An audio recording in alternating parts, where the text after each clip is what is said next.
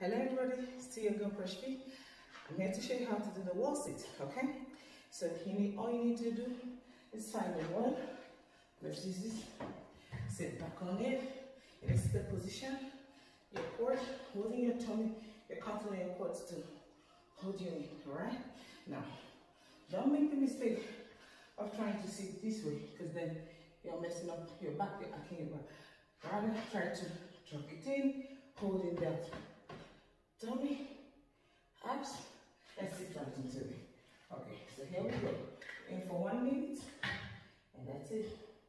So, taking my position, having the core, remember, tummy, do not hold on.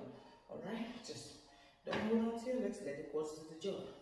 Okay, and you're seated. So, notice I have my core tight, sucked in, and you stay this way. Stay out or meditate as much as I want while in this position to get your thought out of this because the cords are going to be filling the bone and your core. So that's it. Peace out.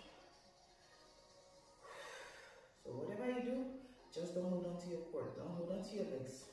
Up. Stay in this position. Meditate, say prayer, whatever you want to do. Just hold that position for like a minute. With 10 seconds left, okay? So hold on there, almost there. And that's how you do your wall sit. If you like this video, please do share, give the thumbs up, and do subscribe. It's a girl Presh Fit, and that's time. So, hope you enjoyed it.